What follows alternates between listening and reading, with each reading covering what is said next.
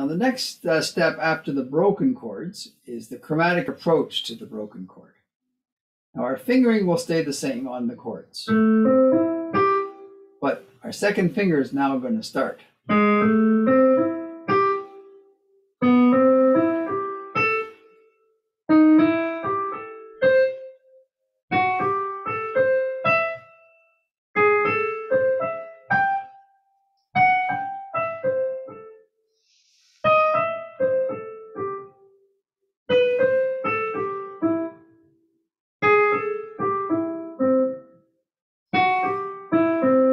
That's the exercise. Now, depending on the inversion, they'll have more or less usefulness, but it's a good way to prepare for our soloing on chord tones.